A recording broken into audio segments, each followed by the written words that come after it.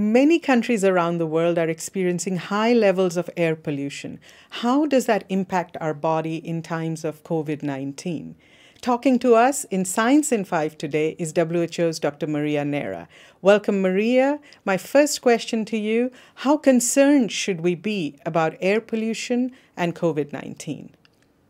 Certainly, Vismita, we are very concerned because air pollution, as probably many people knows by now, represents 7 million premature deaths caused every year due to the exposure of air pollution.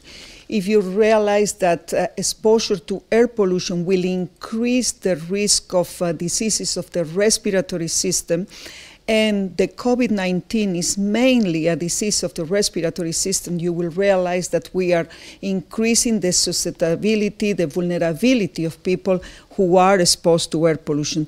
Therefore, we need to make sure that this double burden is tackled in a very important way, addressing as well the causes of air pollution.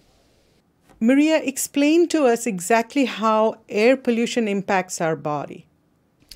Well, air pollution is uh, the bad quality of the air we breathe, and that bad quality of the air we breathe, it goes to our lungs, through our lungs, it will cause already a major damage, increasing the risk of chronic respiratory diseases, lung cancer, obstructive chronic pulmonary diseases, asthma, pneumonia, and others. And from there, the very small particles can reach as well the bloodstream, affecting as well our cardiovascular system and other organs, of course. But when we know that, in the case of the patients with COVID 19, those who will be more at severe risk of developing illness are those with underlying conditions like uh, high blood pressure or heart diseases or respiratory diseases. We see where air pollution might exacerbate those, disease, those diseases and making the patients, the population, more vulnerable to the disease plus to the severity of developing a, a more serious illness.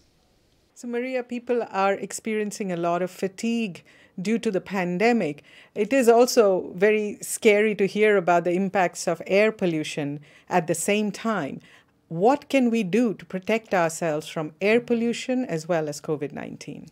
Well, I think for COVID-19, uh, WHO has repeated many times what are the, the measures we need to take from uh, uh, washing your hands, maintaining a good hygiene, ensuring that you respect the, the, the physical distance that is recommending, avoiding the very crowded uh, places where you have a very close contact with other people, ensuring natural ventilation, and, and, and uh, the use of masks when, whenever they are recommended. But in the case of air pollution, the most important recommendation we can say is that in those countries where the levels of air pollution are very high, we need to enforce legislation to reduce those levels of air pollution. We need to make sure that as citizens we are aware of the fact that air pollution is affecting our health, and by doing so, requesting our authorities at the city or the, the, the country level to tackle the causes of air pollution, reducing the emissions, and particularly one important one will be stopping burning fossil fuels, which are contributing enormously to this uh, air pollution and therefore the, the illnesses that exposure to air pollution is causing. Thank you, Maria. There you have it. WHO's Dr. Maria Neira explaining the impact of air pollution and COVID 19 on our bodies. If you found this content useful, please share it with your friends and help us get WHO's life saving content and information out to the public.